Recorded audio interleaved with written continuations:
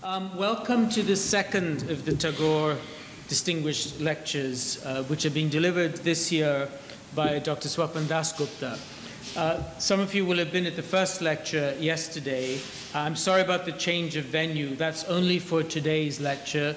Tomorrow, the third and final lecture will again take place in the River Room where the first lecture was held. So, uh, just to spare any confusion, if you come straight to the River Room tomorrow uh, at, the, at the 5 o'clock time, it'll happen there. Um, but thank you all for, for being back here again this evening.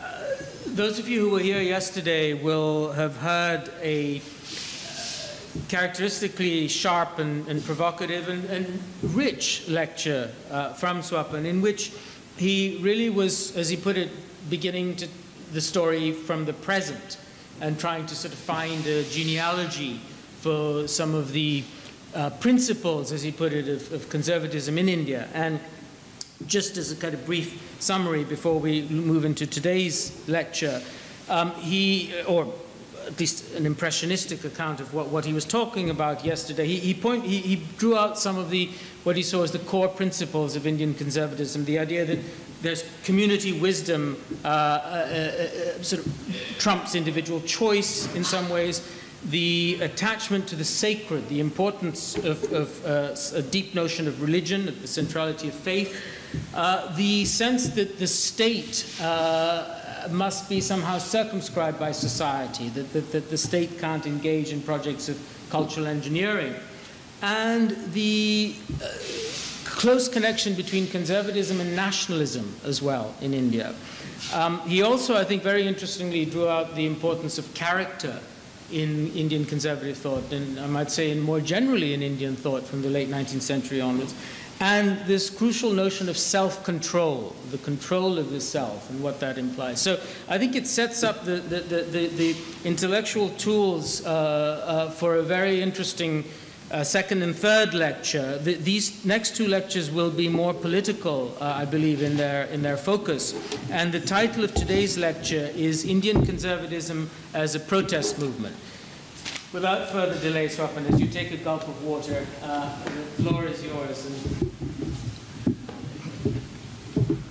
Uh, thank you, Sunil, for summarizing. You couldn't have done it better. I think you've addressed all the issues there. Uh, I'll start off from more or less where I ended yesterday with a two contrasts of the neurosis which greeted colonial rule in India.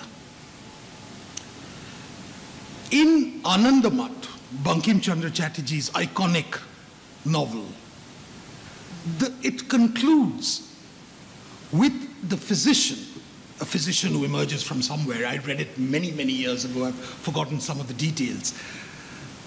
Goes to, to the Santandal, which is the army of Hindus who are fighting this battle and says, It's time you abandoned your struggle. The British are here and they will help us establish Sanatan Dharma.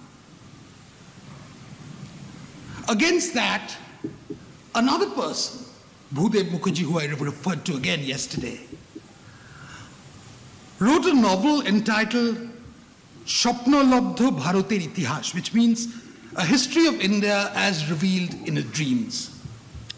Now, here, he engaged in what might be called counterfactual history. He envisaged a Maratha victory at the Third Battle of Panipat against Ahmad Shah Abdali. And the great might have been of history at that point. For him, that victory, imaginary victory, symbolized the emergence of a prosperous, united India under a wise Hindu emperor, the kingdom that combined enlightened Hindu virtues, the rule of dharma with Western science and technology. Now, progress with a deep sense of rootedness and ethical virtues was at the heart of the post independence dream of most Indian conservatives. some of whom were extremely distrustful of Gandhi's involvement of the masses in Indian, in national politics. For them, in fact, across the country, you find innumerable references to the glory of Japan. Japan was a great point of inspiration. A country which had re retained its cultural moorings and at the same time progressed significantly to the point where it had defeated an European power in 1905. So Japan struck them as being something worth emulating. Now, at the first roundtable conference in 1930, you know, it was one of those unsuccessful roundtable conferences. There were three, none of them yielded any uh, productive outcome. The Maharaja of Rewa, which is a small, tiny principality in Madhya Pradesh, if I'm not mistaken, uh, Madhya Pradesh. Now, he, in one of the, in, in the proceedings, expressed surprise that in a country whose ways of life are so dominated by custom and tradition, there should be no political party which calls itself conservative. He, however, predicted that as British power eclipsed, a strong party of experienced and responsible politicians will emerge, which will call itself the Conservative Party. Now, like many of the Maharaja of Rewa's dreams, that too was to remain unfulfilled. Indeed, for the first four decades after independence, for the, the, perhaps the gloomiest period for the self, self-conscious assertion of conservative politics. It was probably the blackest time when it almost got eclipsed. This is not to suggest that the non-political nationalism which I spoke of yesterday, that embraced conservative inclinations, were a complete non-starter when it came to getting your hands dirty in the field. Far from it. Viewed in terms of the pillars on which his political message rested, Mahatma Gandhi often seemed like that great deliverer Bhudev Mukherjee imagined would win the battle of Panipat and usher this great Sanatan Dharma, the rule, the great golden age, another new golden age for India. There were many facets of Gandhi which were immediately very, very appealing to the Indian conservatives who had been rooted in a slightly different tradition. There was, for instance, his celebration of the Indian village. It's not only a celebration, it was a deification of the Indian village. His celebration of the village community. His partiality for indigenous medicine, and I use indigenous medicine because indigenous medicine sometimes has been a great source of defining what constitutes tradi tradition versus what constitutes modernity in, in India. His imagery of Ram Rajya appealed to a large body of in Indian conservatives who were looking for Hindu imageries because they had been brought up to believe that Hindu imagery constituted the most important point. And this Gandhi's appeal was particularly strong in Middle India, which had not been exposed to the earlier traditions which actually emerged in the three presidencies, more the two presidencies, I would say, the Madras presidency was slightly different in character in, its, in the evolution of its intellectual thought. But certainly the Bombay and Bengal presidencies had been exposed considerably to that. So Gandhi appealed to the, another constituency, the small town, provincial capitals. That was where, and it was there that he played a seminal role in nurturing the sense of national uh, consciousness. But in the presidencies at the same time, Gandhi was viewed with a degree of suspicion and skepticism. This owed to various factors. I think the most important one, I would say, was Gandhi's stubborn refusal to accommodate modernity in the form of technology. Gandhi was anti technology. He was distrustful of the railways, he was distrustful of medicine, he was distrusted machines overall. He had a fanatical disavowal of anything to do with violence. And the imagery of violence had played a very important role in the earlier conservative traditions. And finally, his enthusiastic incorporation of the masses into politics. Now, take for example someone like Subhash Bose, who's not by any means a conservative, but who, who actually had imbibed some of the spiritual traditions that had, been appeal, that had appealed to him considerably. Now, he saw the charkha as something absurd, the transformation of a medieval absurdity into a modern panacea, as he called it. Tagore, who was greatly, who was attracted to the ethical values which Gandhi stood for, and who actually gave him the title Mahatma, was distraught when the non-cooperation movement of 1921 started. And he expressed fears that Gandhi had unleashed atavistic passions and sacrificed reason and culture at the altar of some mantra, some unreasoned creed. It's a very evocative sort of horror story which he paints at that time of the unseen force which is weighing down and oppressing India. Some some inspired uh, award attorney can use that in, to today's context. Jinnah, who actually is a little, little different. Jinnah the constitutionalist, and remember Jinnah had at that time was still wearing the avatar of the constitutionalist lawyer of Bombay. And he just couldn't understand this explosive mix of religion, mob violence, everything which would take India into fearful dimensions. Again, the fear of the mob. So, India's crypto conservatives, as I argued in my previous lecture, had sought to construct a reinvigorated India on the strength of an imagery that, while being Hindu, almost ignored a place for Muslims and other non Indic religions. Gandhi sought to overcome this problem with a sort of a multi-faith patriotism, something like these multi-faith uh, conglomerations, uh, you know, carnivals we often see in various parts of the world.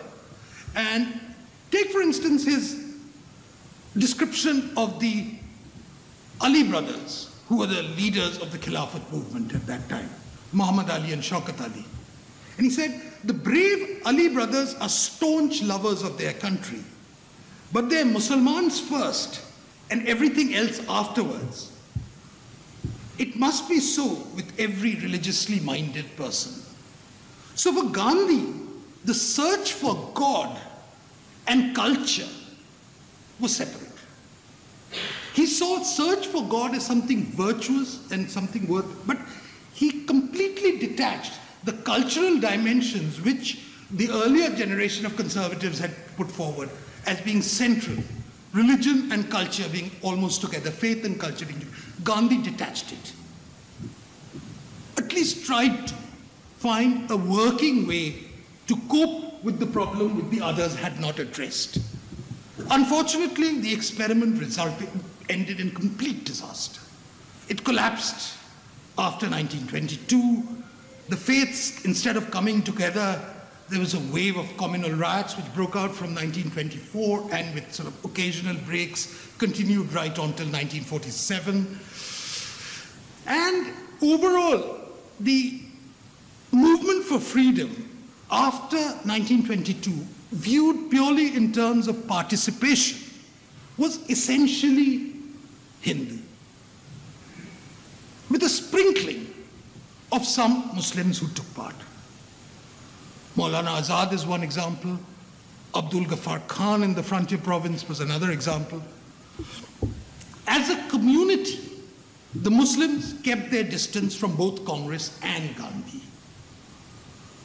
Now, the failure to draw in Muslims didn't result in the nationalist leadership embracing Hindu nationalism. The Congress didn't deviate from its avowed commitment to unitary nationalism. The real change was really at the grassroots. And here we find that this detachment of the communities had a considerable effect. In the provinces, in the localities, there was very little to distinguish a Hindu nationalist, a member of the Hindu Mahasabha, from that of the Congress. There have been enough historical studies done on it in the case of Bengal, in the case of Punjab, recently in the case of uh, the United Provinces, which show the great degree of overlap, that the identity of the Congress, as perceived in the districts, was really not very different from those who proclaimed Hindu nationalism. So there was no real schism. Those who were suspicious of Gandhi's mass mobilization went into other spheres. They went into the Liberal Party of Jayakar and Sapru, and the Unionists of uh, Sir Chotu Ram and Sikandar Hayat Khan in Punjab. But in the localities, the earlier tendency of looking at Hindu nationalism the Hindu version of conservatism, if you might call it, and the Congress, there was a considerable overlap, which didn't, however, necessarily stretch to the uppermost layers of the party. Now, Savarkar, who I should have mentioned yesterday, but I didn't, may have been an influential thinker. But after the 1930s, when he sought to organize the Hindu Mahasabha, as a separate force in opposition to the Congress. Earlier, the Hindu Mahasabha and the Congress, more or less, they held their sessions more or less at the same city, more at the same time. Madan Mohan Malviya often was the president of the Congress. He later became president of the Hindu Mahasabha. So that, that overlap would have been there. Savarkar tried to create a separate body called the Hindu Mahasabha. He was a political Hindu. He was an atheist. And he posited himself against Gandhi, who was devoutly religious. It was a no contest. I mean, Gandhi won, hands down. Savarkar didn't even register in the blip of popularity, in, in the popularity charts. Everything about Gandhi struck them as far more indigenous, despite Savarkar's own record, etc. Savarkar only had a following largely among Maharashtrian Brahmins, particularly those who admired his phenomenally lucid command over Marathi. So Gandhi really accorded no political space to a rival body of Hindu conservatives. To be fair, Jawaharlal Nehru recognized this amorphous nature of the Congress which he inherited from Gandhi after independence. But he also lived in both denial and hope. For example, in late 1946, independence just round the corner, he told a French journalist with a degree of touching certitude that there are three things I want you to remember. One, India will never be a dominion. Two, there will never be a Pakistan. Three, when the British go, there will be no more communal trouble in India. Now, he was wrong on at least two counts. His writings immediately after partition are full of agonized references to the RSS mentality which had taken over the Congress, which had infected it, and the dangers posed by Hindu right wing communalism, his words, which he said was explicitly fascist. They've taken their training from the Nazis, he believed. Now, Nehru had one single minded project in his mind. He aimed at creating a secular state in a religious country. the very words which he used in an interview to Andrew Malraux sometime in the 1950s, late 50s. His colleagues in the Congress who rallied behind people such as Sardar Patel, Rajendra Prasad, Rajagopalachari, K. Munshi, and regional leaders such as Purushottam Das Tandon, D.P. Mishra, Dr. B.C. Roy. They didn't want a Hindu republic. So it's a false juxtaposition to suggest that Nehru stood for secularism, these others stood for a Hindu republic.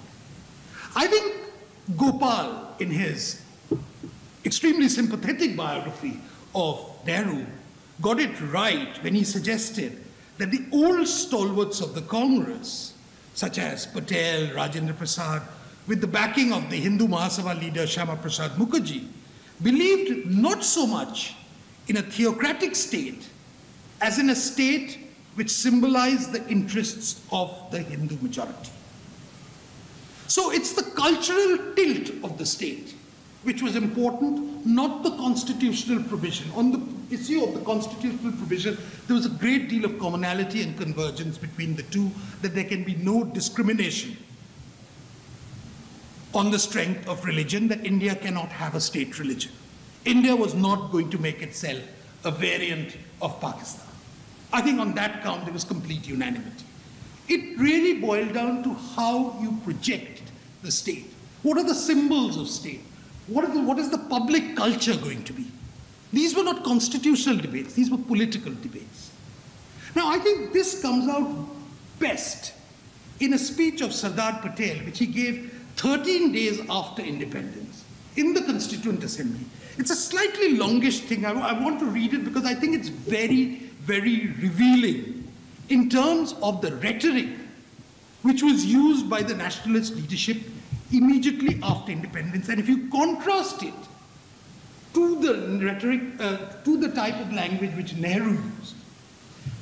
Now, Sardar Patel was responding to a debate on, I think it was a debate which Chaudhry Khaliquzzaman, who went over to Pakistan between the time he moved the motion and the motion got discussed, uh, on the question of retaining of the separate electorates for Muslims.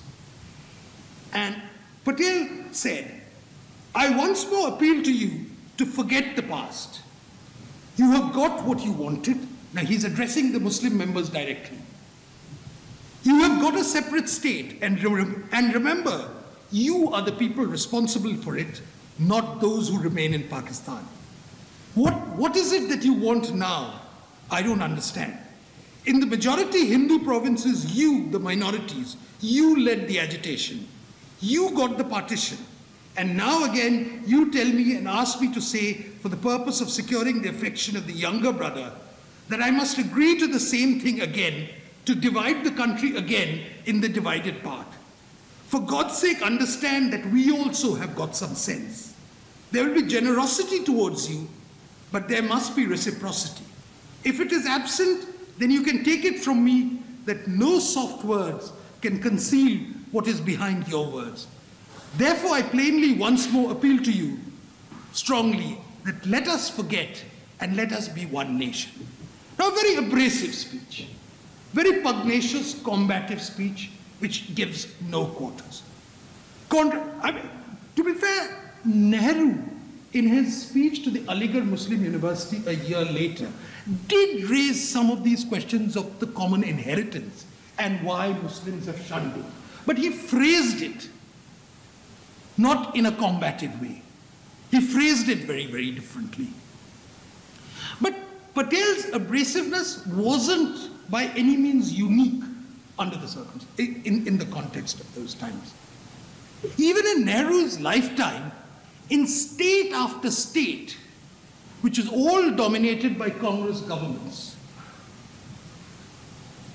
agenda which basically reflected the aspirations of Hindu conservatives were passed. Almost 18 or 20 states passed lay legislation prohibiting cow slaughter.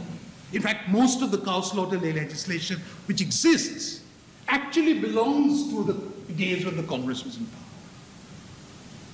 There were restrictions on religious conversions, not aimed at Muslims, I may add, mainly aimed at Christian missionaries.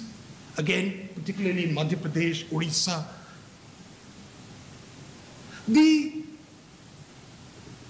Sanskritization, used not in the Srinivas way, but the Sanskritization of Hindi, which followed, was also something which happened, which incidentally is something which is welcomed by the non Hindi speaking states because they understand it far better than they understand the more colloquial Hindustani of northern India, something which uh, people in Delhi often forget. So Nehru was definitely in the minority in the Congress when he sought to placate the Muslim minority with assurances of continuing with their separate personal laws, even as he sought to reform the laws governing Hindu laws of marriage and inheritance. Now, why was this? What was the thinking behind this approach, which has subsequently been demonized as Muslim appeasement? Gopal again has a very revealing comment to make about Nehru's mind, the way he was thinking. And he says that for Nehru, the problem of minorities was basically one for the majority community to handle. The test of success was not what the Hindus thought, but how Muslims and other communities felt. Now, to my mind, that is at the heart of the issue, which is the, basically the schism between what can be called the Nehruvians and the others. Now, an echo of this, strangely enough, I found in uh, a speech by Dr. Manmohan Singh in December uh, 2006 at a conference of chief ministers when he said that minorities, particularly the Muslim minority, must have the first claim on the resources of India. A, a speech which led to, to a had a very sharp reaction in, in the country. Now, to some extent, these attitudes of Nehru were grounded in electoral expediency. There was the lure of the en bloc Muslim support. The people who, till 19, the election of 1946, albeit with a restricted franchise, had voted en masse all over the country for the League, for the Muslim League, now came as a ready-made constituency for the Congress. In fact, in the old days, when you went out to the constituencies, it was always told that the Congress starts the election with about 35% votes already in the bag. The others start from zero. So it was this lure of actually appealing to that constituency ready-made, which was probably recognized, may have played a role, I cannot say, but certainly it did play a role in, in the um, uh, in, in the calculations of some of the others. So the idea that Nehru was, necess I, I, was necessarily anti-Hindu is, however, to my mind, problematic. I mean, Rajaji, Raja Gopalachari, who used to be his colleague and then later went over to form the Swatantra Party, of course, disagreed. His main critique of Nehru, apart from the fact that Nehru had strangled private enterprise, was that, the, as he wrote, the loosening of the religious impulse is the worst of the disservices rendered by the Congress to the nation. And Rajaji was one of the very, very few politicians in India who described himself as a conservative. His self-image was that of a conservative. And a conservative, not necessarily one who adhered only to the economic doctrines of the free market or supported the United States in the Cold War. for him, it was an ethical construct. It was based on his reading of culture, his reading of religion, and why it must have a central role in, in, in the Indian. Now, Nehru's attitudes particularly his belief that it's really the onus is on the majority community to deal with all these problems, was, to my mind, partially because he believed that modernity was principally economic and technology oriented. That was the important thing for him. To him, it meant a very sharp break from moribund traditions and particularly historical memory. When he invoked the notions of the temples of modern India, he deliberately used temples in a different sense from what people were using it. For him, it was not the temples, it became the dams. It became the steel plants. But it was not entirely innocent. I think there was also a calculation. And I, and I want to cite particularly one speech of Nehru's, which was at the inauguration of the Punjab High Court in Chandigarh. And Chandigarh is a city which, as Sunil has written quite evocatively, was something of a Nehru's personal passion. He chose an architect who perhaps is not, wasn't, whose uh, qualities weren't sufficiently admired, whose avant-garde tendencies weren't sufficiently admired in Europe, not least because he had some dealings with the Vichy regime. But anyway, whatever it is, Chandigarh, the architecture, the imagery of Chandigarh was very much Nehru's personal thing. And during inaugurating that High Court, he spoke. And this is a speech which, for, for inexplicable reasons, has really been buried, and I, it, it was just pure chance I discovered it. I am happy that the people of Punjab, he, he said, did not make the mistake of putting some old city as their new capital. It would have been a great mistake and foolishness. It is not merely a question of buildings. If you had chosen a, an old city as the capital, Punjab would have become a mentally stagnant, backward state. It may have made some progress with great effort, but it could not have taken a grand step forward. Implication modernity means disavowal of the past. You have an arm's length distance between your present and your past. And the past is not something which should necessarily intrude onto your march into the, into the future. Where Nehru actually succeeded was in shifting the political agenda away from concerns of national identity and into the larger question of economic development. That was a striking political success. And one of the reasons why he succeeded was that the response of his critiques, uh, uh, of his critics was incoherent and backward looking. Throughout the 1950s and 60s, the non-left opposition focused principally on a few things. Number one, they demanded a national ban on cow slaughter. Number two, they demanded the primacy of Hindi, which alienated them from the whole of southern India and even parts of eastern India, and standing up for the rights of small traders. These seem to be the three things I could detect, which is the commonality, and this was their passion. Apart from very lofty rhetoric during the time of the 1962 China War. The Swatantra Party, true, on the other hand, did have an economic program centered on the promotion of free enterprise. They had a policy of opposition to any form of agricultural collectivization. And they wanted, they questioned, incessantly questioned the pro-Soviet tilt in the foreign policy, particularly making a demon out of a rather repulsive gentleman, which Rudra has been studying, called Krishna Menon. It was, but the Swatantra Party was hamstrung by the disproportionate influence of former princes and big business in its internal affairs. It's quite remarkable when you see this, actually, the, the sort of, not the Politburo or whatever, the governing council of the Swatantra Party as it was constituted.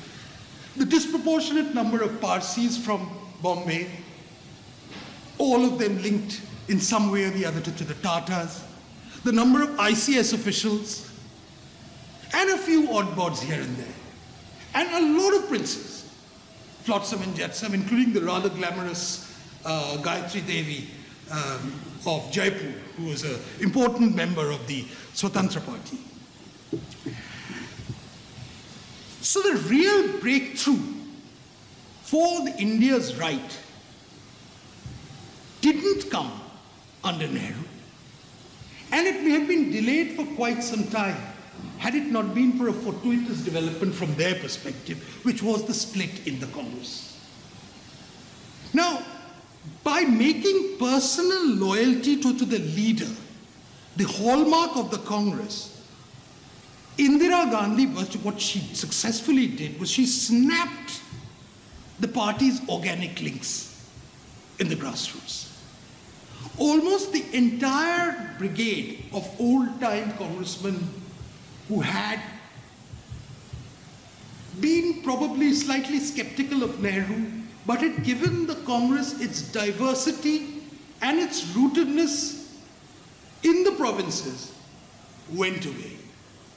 Most of them went into political oblivion because the Congress, or OO as it was called, uh, didn't really fare well. And in fact, they dropped out of politics, leaving a space vacant. This was compounded further between 1969 and uh, 77 by the sharp left turn, the socialist turn of the Congress, which set in motion a state-sponsored bid to redefine India's public culture, including the writing of history. This is the first time it was done in a very conscious way at that time. The conservatives, who had happily prospered under the Congress, because it was such a broad church umbrella party, now started exploring possible new futures. And it happened so that immediately after this followed the draconian emergency. And one of the features of the emergency was the 42nd Amendment, which for the first time put the words socialism and secularism into the directive principles. It wasn't there till. So in other words, the codification of secularism, rather than it became, rather than a nebulous concept, became a preoccupation with a lot of people, including political parties. What do you mean? Is this real secularism? Is this pseudo-secularism? Etc., etc. Prior to that, it was just assumed India is secular. How it's secular? Sometimes it's very secular, sometimes it's you know, nominally secular, it's Hindu secular, etc. Now, one of the shortcomings of India's non-Congress conservatives lay in their ability to attract mass support. Although if you add in the conservative vote of those uh, parties which can be called conservatives. This included a very interesting party at one time in the 52 election called the Ram Rajya Parishad. Now, one of the, it, it, it's a quirky party uh, which had as its uh, leader one Swami Karpatri Maharaj and also had the support of the Shankaracharya of Puri. Its main preoccupation was the ban on cow slaughter. But uh, among the pieces of progressive legislation, or progressive as they imagined, uh, their only intrusion into modernity lay in the fact that they wanted reserved jobs for all scavenger posts for the scheduled castes. A stereotyping of a variety which I think is quite horrific. But there it is. You had the, the, the type of loonies who actually occupied that. And, but despite all this, I think it's important to recognize that about 25% of the vote, if you add in various splinter parties, etc., Swatantra, Janasangh, Ganatantra Parishad, Ram Rajya Akali Dal, etc., the right, loosely speaking, had about 25% of the vote, always. It was a pretty stable 25% which they had. But individually, none of them could actually make effect any breakthrough. None of them had ever formed state governments. Now, this changed with one particular thing the, Ram, the Ayodhya Ram Janmabhoomi movement. Now, why a local dispute dating back to 1528 captured the public imagination after a 1987 still, to my mind, awaits a credible explanation from the scholars.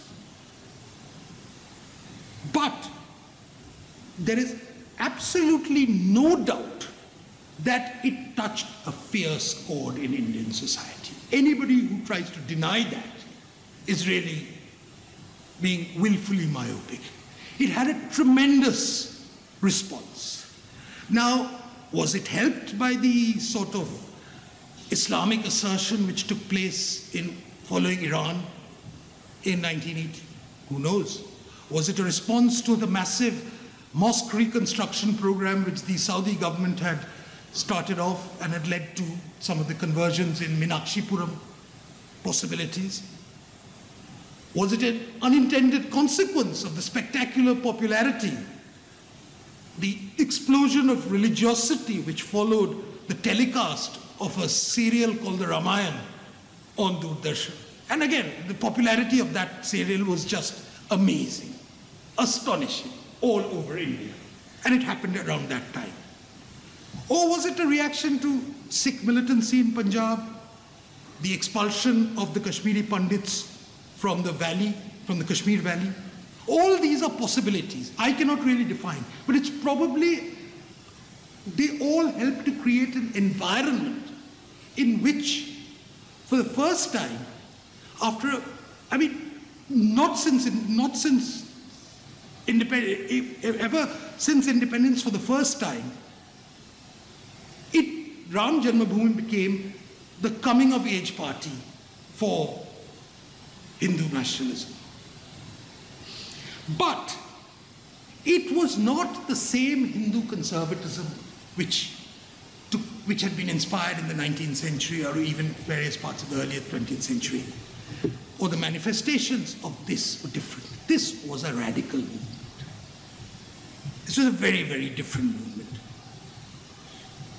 First, it tried to break away from localized community-based support, which was a feature, the, the wisdom of the community, as uh, Sunil pointed out in his summary of what I had said earlier. It tried to create a national Hindu consciousness which overrode the particularities of region.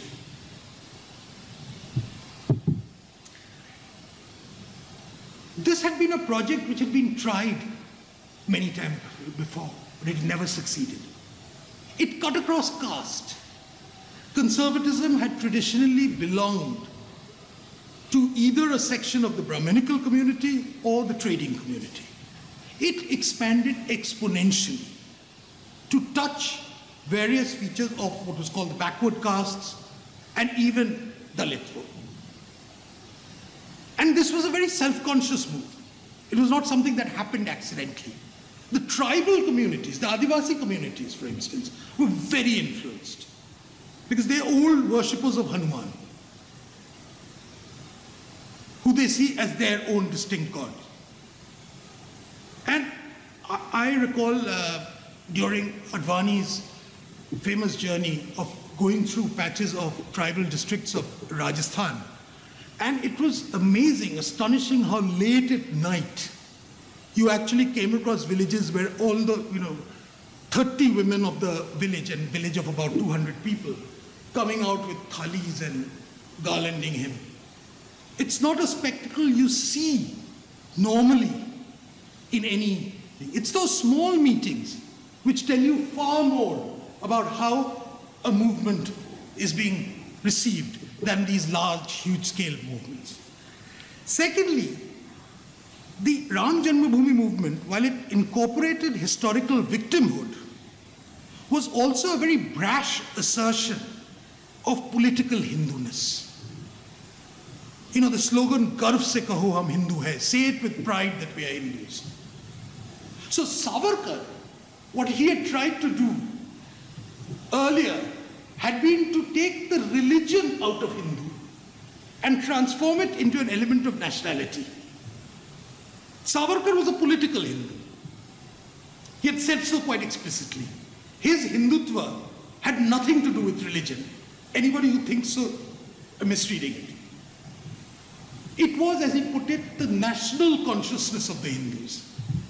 So once again, here we see, and when Advani said, this is not a religious movement, this is a political movement, it was immediately resonant of what Savarkar had been trying for so long.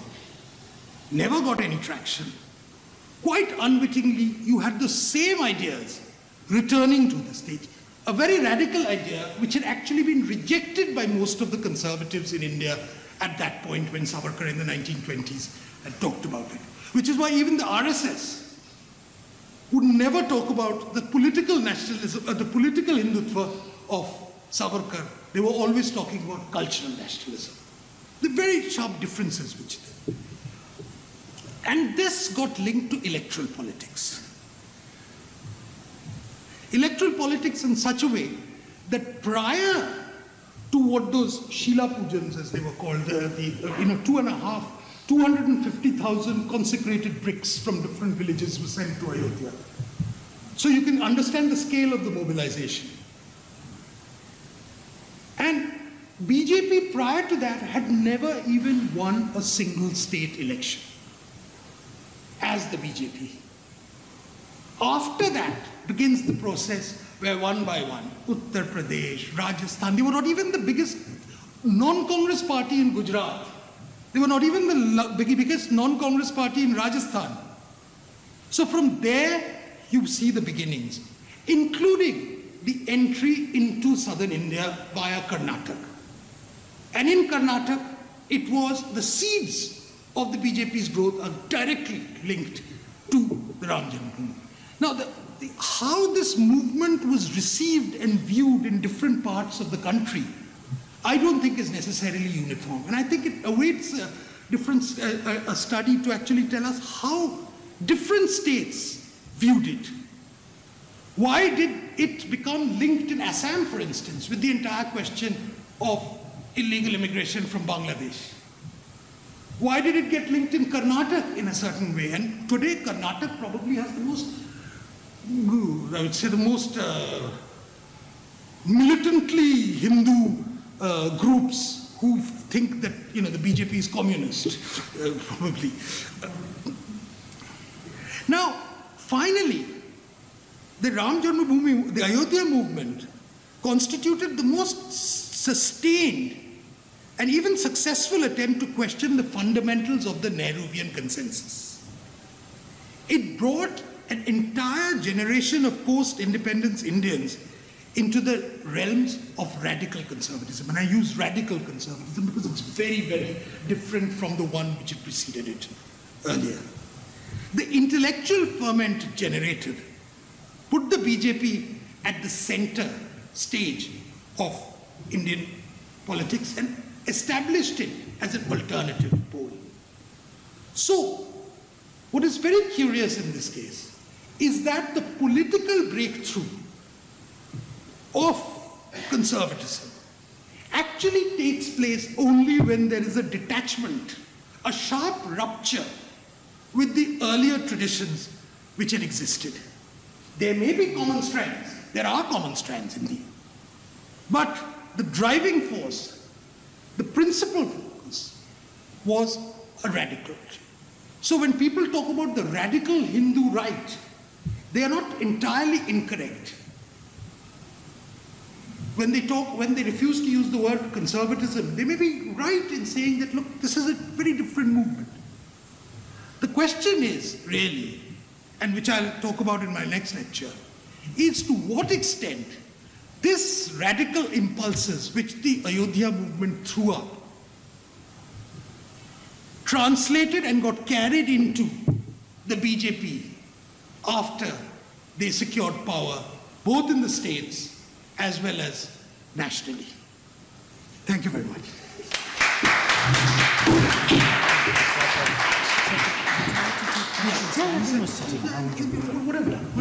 Great. So we have a chance now to raise some questions uh, with Swapan. And um, really we'll go straight into them. What I might do is take two or three questions in a row uh, and stack them up and then hand them over to, to to respond to. So who would like to start with a question that they might have in mind, I, either from yesterday or from today's lecture? We should kick it off. Well, uh, let me then kick it off with, with I mean, the, the contrast you're making between, as you said, the, the, the political breakthrough that happens uh, involves a break with the earlier cultural conservative model.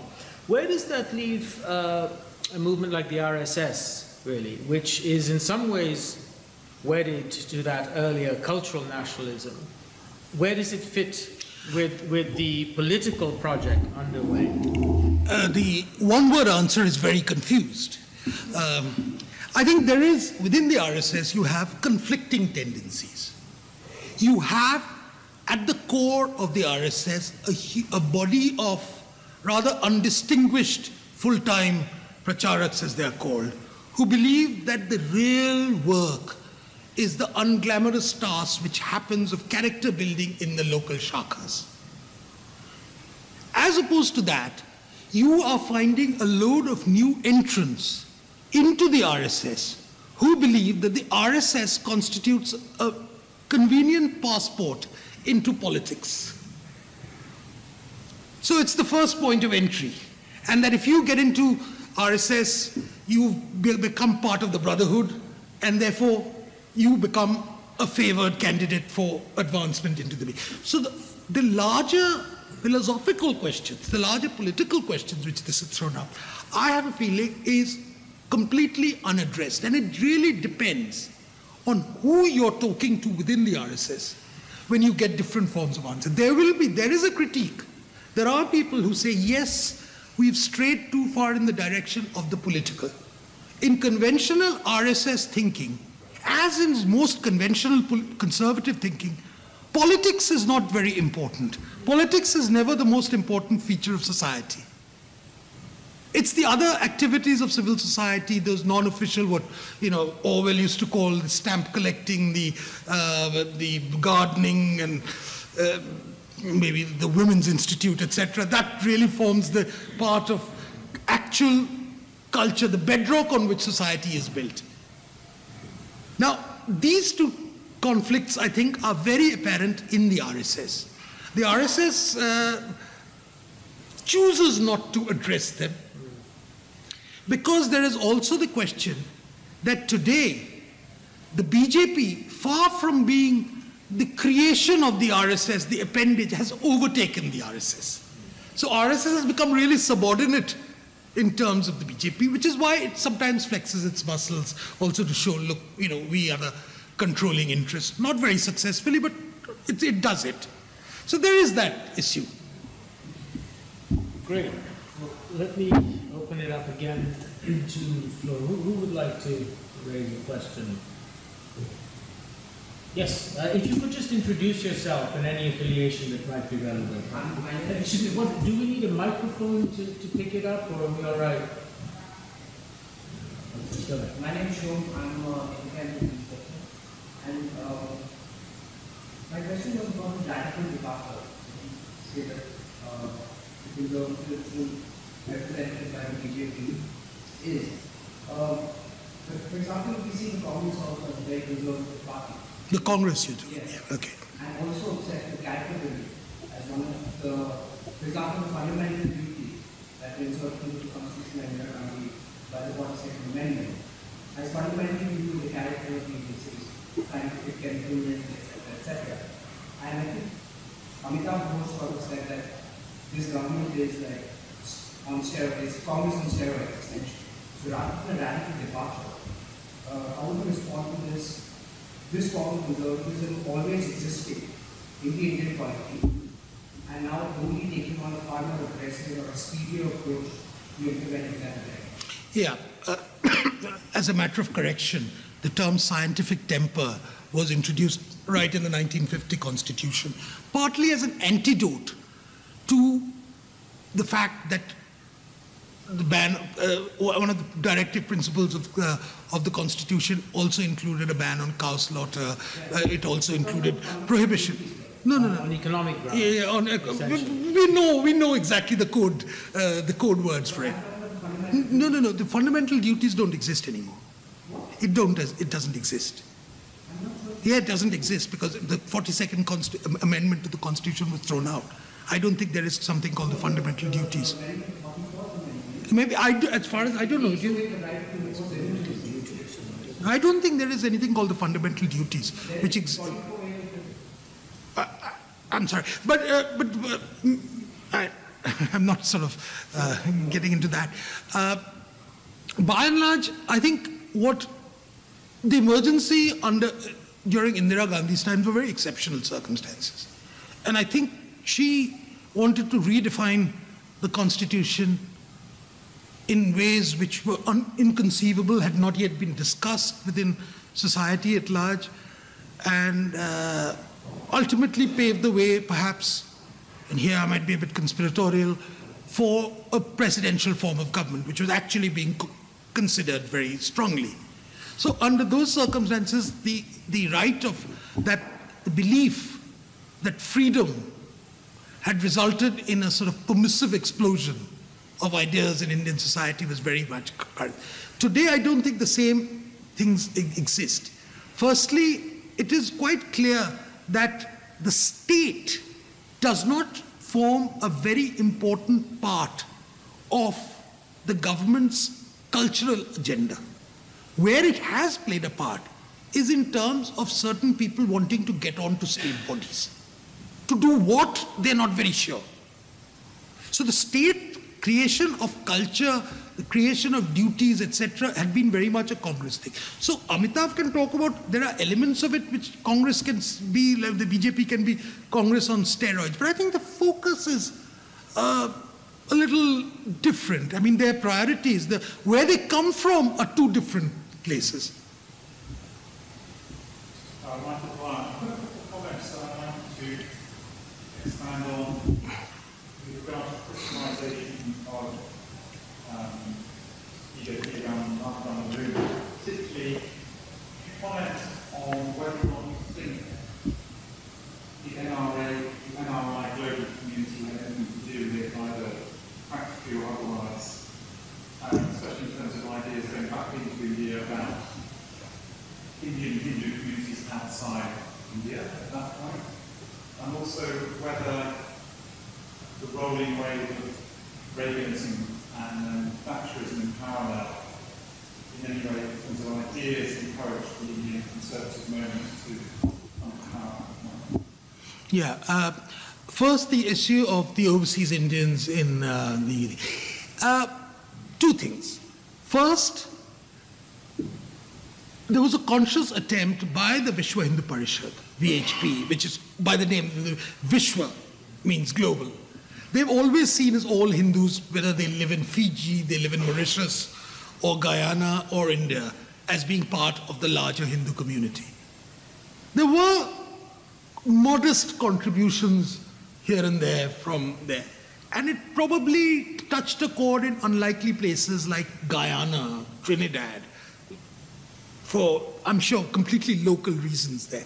But overall, it's not very, very significant, although individuals may have played. As a collective body, neither in terms of resources nor in terms of manpower did the non resident uh, individual. I think this is a bit of a you know, the point is that these people always encourage anyone who's interested to come. Very much a, a project which I've often seen in Israel also. Anybody who's remotely interested in Israel is always encouraged to come and participate in the homeland, etc. So the similar sort of uh, uh, approach exists there. Secondly, as far as the uh, Reagan and Thatcher thing is concerned, moment is concerned, uh, I, I was planning to dwell on it tomorrow when when talking about governance, but I'll give, give a brief answer to that. By and large, there has been the Indian right, with the solitary exception of the Swatantra Party, which never really took off, has never been terribly enamored of the free market. They've seen it more as an instrument of expediency where necessary, rather than a, something of commitment. For Thatcher, I mean, Hayek was the Bible. I mean, she was committed to it. Ideologically, intellectually, everything committed to it. And the people around her were also committed to it. I don't think you get a situation like that in the Indian right. There is a small group of people uh, of late who've emerged who want to. Uh, there's a Liberty Institute in Delhi. There's a Swarajya magazine, uh, which was uh, which Rajaji's thing, which has been revived. There are these small initiatives which uh, are there, but I don't think the economic right. Uh, uh, uh, uh, Sadanand Dhume organized a lovely dinner table sort of seminar on this question, and whether really the only economic right person was really Surjit Bhalla and um, uh, what, what Das is Gurcharan Das, Gurcharan Das, and you, you don't find them very much. At least they're not terribly. In fact, a lot of the economic right was also present in Manmohan Singh's uh, ecosystem, not necessarily the Congress ecosystem, but Manmohan Singh's ecosystem. So it's it's not a defining feature. I'll take a couple of questions together. Yeah. Uh, I'm Vipul Mukesh Solution. Uh, just wanted to ask, how difficult is it for BJP to cut off things from the outside? Do you think that's a possibility? in the near future? And you had a question. I'm Shweta Yosef and also speaking in Nagaland. Um, so, being conservative in India largely associated with nation practicing the wellness caste. So, um, the wellness is one of these caste. So, politically, people target particular caste when it is constitution, whether it's Congress, BJP, or any other political party. So, is it actually correct to say that it's just a matter of being of being conservative? Is it economics possible? Okay. Uh, your first question? Uh, was on uh, this. Oh, the how- RSS, the RSS. RSS.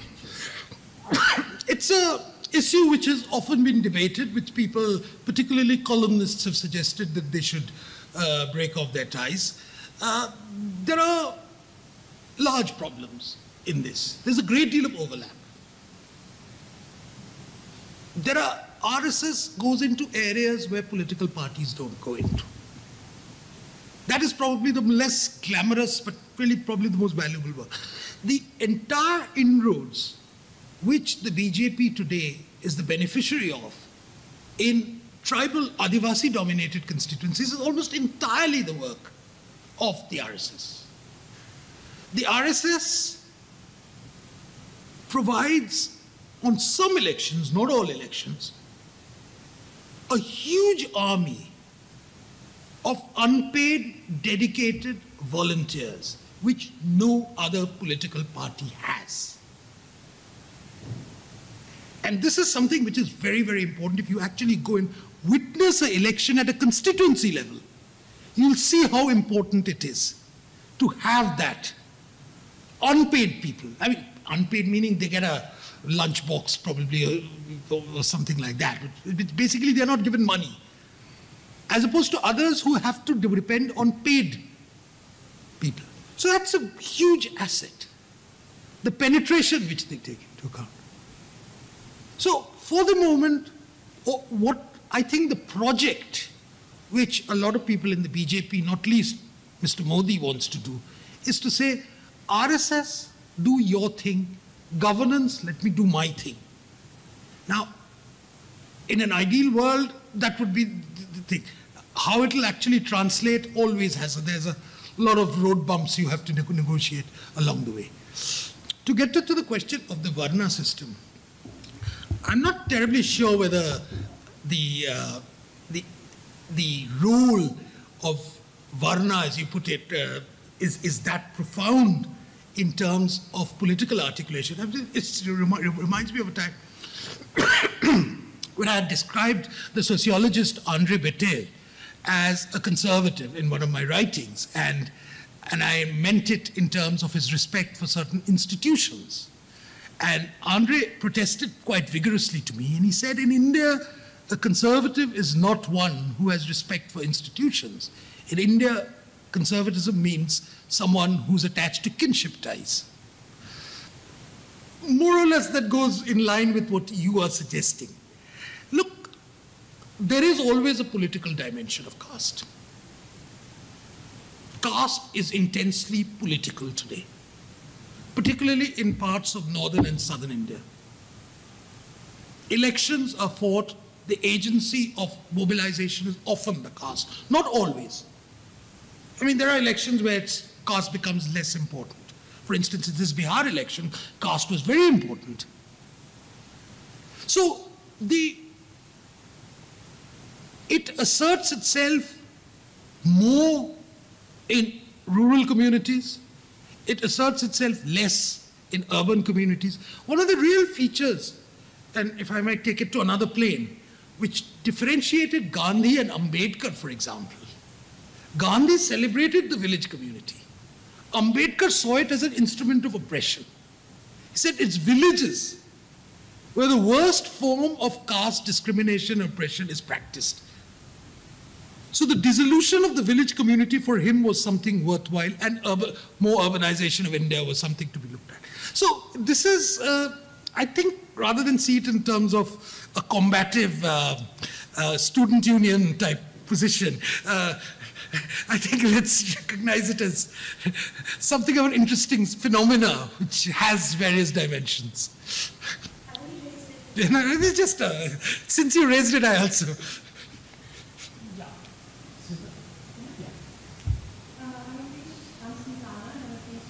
If you could speak up a bit, because we don't have mics and we want the questions to be picked up. Sethi. I'm a PhD student at King's University. And my question is. One is, what, if any, is the intellectual or anchoring of the current political you're saying? In the sense, what, what how does understand rights of you know, individual rights, freedom, gender rights, uh, rights of you know, homosexual one and second um, what is your personal position on the state of episodes that have happened in India recently uh, that, that has shocked the nation because of the, uh, the grotesque nature of intolerance what is your personal Which, which one are you referring to? or uh, uh, the lynching, uh, lynching episode. Um, basically, wherever there has been dissent or disagreement or somebody expresses an opinion that uh, uh, is not agreeable to the political dispensation or the political culture in India, uh, you're a danger. Uh, well, if come to my earlier talk, I'd say that uh, I, I would have said you would have realized that what defines an Indian conservative, as it defines conservatives elsewhere in the world, and it's by no means a uniquely Indian phenomena, is the belief, and this is that collective wisdom of the community is always takes precedence over individual choice. Now, that forms the bedrock of conservative beliefs, that wisdom really lies in the species, not in the individual. From there, you can deduce a lot of conclusions from there.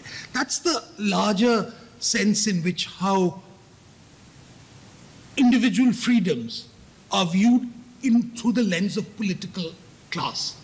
But there is also the legalistic attitude. There is, in, by law, certain rights which are accorded to individuals in society. And those rights obviously take precedence. So it depends what you're looking at. If you're look- looking at it through the prism of law, you get one sort of set of answers.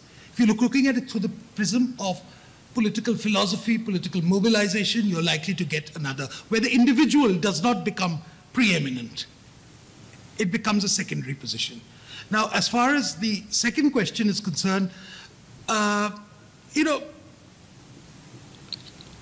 the issue of cultural freedom is an interesting one. And I think what we are witnessing in India, and here I'm being a bit of a contrarian, is not the suppression of individual rights, although that too happens and has happened all the, uh, constantly.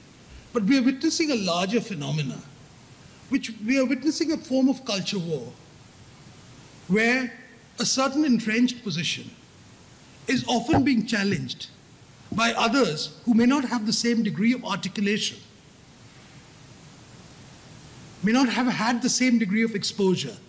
So it's a bit raw. And I believe that this is part and parcel of a democracy.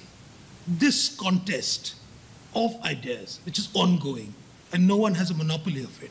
So far from truncating the democratic space, I think what it has shown is that there is a pretty vibrant democratic culture which exists in India more than anything else. Rather, and it's, I don't think it shows the shortcoming. I think it does reveal certain people's political preferences, which is legitimate in itself. But to make a larger societal type constitutional comment on the state of Indian democracy, I think maybe extending the argument a bit too far take two more because we're actually coming up to time, but I know we did start a bit late. So, um, um, um, I want to, I know you talk about some better about the film industry, but um, we were talking yesterday, you mentioned Ram Guha's favourite statement that it was an intellectual right. And I was thinking about, you know, this idea of cultural nationalism, and one moment you mentioned public culture, and then you mentioned film, which you didn't really mention the media and how important they seem to have been in, in politics, and particularly with this around the Muslim movement. And so rather than thinking about things like yesterday's speech by Aamir Khan, particularly all things like the FTII and the censoring of James Bond and so on, the actual, have we some promotion of cultural nationalism through media and relationship between media um, and state? are there ways in which conservatives would see this as different? Or putting one question, why is there no Chalachitra Academy mm. um, frankly, Professor Dwyer, I lack some of the expertise to be able to answer all that question with the sort of depth of your question. But all I can say is that some of the problems which we've witnessed recently, not least of which is the FTII issue, the rather silly sense, uh, cuts which have been made in the Bond film, are all function of inappropriate people put in certain places. It's really a flawed positioning of individuals rather than a systemic one. In India, in the past also, I think today Sharmila Tagore, who's the more uh, the, pre the previous thing of the sensible, also spoke about how in an earlier film she had to use, she had to delete certain scenes because it said she said, look, it's going out to people who are very much more impressionable than you imagine. And so there is a sort of a lowest common denominator we have to cater to. I think if you looked at the... Uh, I'm not... Uh, uh, the, for, for example, when this issue of this rather brutal rape of uh, the uh, girl, Nirbhaya rape as it was, happened, among the concerns which were raised is, and I don't think satisfactorily answered, but the questions have been raised, to what extent does this sort of aggression stem from depictions in Bollywood films. You'll be the better person to be able to answer that satisfactorily. But certainly, we've seen in Bollywood mind, uh, mindless violence. We've also seen Jai Santoshi Maa, uh, which is one of your favorite films, I'm told. Uh, we've seen sort of uh, devotionalism family values, truancy, and plain simple love stories of the, uh, you know, the poor, poor boy meets the rich girl sort of variety. So you get all forms. Now, whether these should actually be actively channeled into some cultural form in a self conscious way is, I certainly believe, does not fall under the prerogative of the state. But if others are, Chalachitra academies are set up elsewhere, as it is, the, most of these FTII and all these things state sponsored are by and large dominated by the left. And the public culture can do with a little bit of more variety. We'll take one more question, not because I want to stop the questioning, but because we carry those over to tomorrow, and I think we can't run too much past 6.30, but... Oh, oh, you reserve? Okay. Well, you should... Oh, okay, well then, you, we'll take your question then. Uh, Good evening, my name is Mansi Kumar, I'm from Street Media Institute. I have one question for you, sir. Uh, What do you think makes conservatism an untouchable by the middle section of society? It, as a concept by itself, or it was political manifestation? Have you read Jewel in the Crown, Paul Scott's book? Well, it's, it's a very useful book to read because it's a wonderful depiction of the last years of uh, British India. He's one of the best, he, he documents it so well. And he says, there's a particular section there about talking about Hindu Mahasabha. I, I, I might actually have it here. Not the book, the particular. Uh, yeah, I, I, yeah. Now I'll just read it out to you. Yeah. He writes Hindu meant Hindu Mahasabha, Hindu nationalism, Hindu narrowness. It meant rich banias with little education, landowners who spoke worse English than the younger subdivisional officer, his eager but halting Hindi. It meant it, it, meant sitting without shoes with your feet curled up on the chair, eating only horrible vegetarian dishes and drinking disgusting fruit juice. Now, to my mind, that may have been written in the context of the 1940s. But translate that, and you get what is the, I might say, the English speaking stereotype of the person who falls under the notion of the conservative. The stupid party, as I mentioned yesterday. That is the stereotype. It's, it's something which exists purely, only, and in a very magnified sort of way in India. Because certain assumptions on which conservatives base their thinking, community, family, are being questioned by certain more avant garde tendencies. And the inclination of those who are in media, who are in other positions in academia, tend to undermine their importance in terms, or at least certainly don't attach the same degree of value, uh, attach the same degree of value to those concerns. So that, to my mind, plays this stereotyping. And we all complain about stereotyping, everybody in their own little way.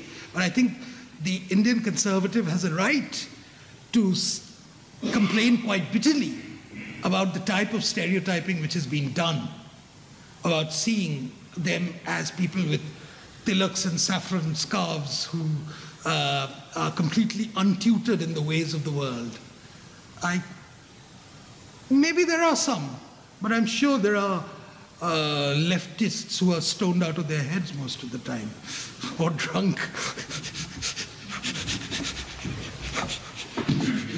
Well, on that note, we can all go off in search of leftists thrown out of their head or, or tilak wearing uh, people on the strand. Um, once again, a, a, very rich and thoughtful set of, and deeply felt lecture, I thought, this evening as well. Uh, tomorrow is the third and final in the series, uh, and that will be back in the River Room. Uh, oh, okay. Sorry, thank you. So it's actually going to be in the same room here, um, and it's on uh, Indian conservatism and the compulsions of political power. There'll also be questions after tomorrow's lecture, so I hope those of you who haven't had a chance to ask today will be back tomorrow. And can you join me once again in thanking Swapan Dasgupta for a wonderful round?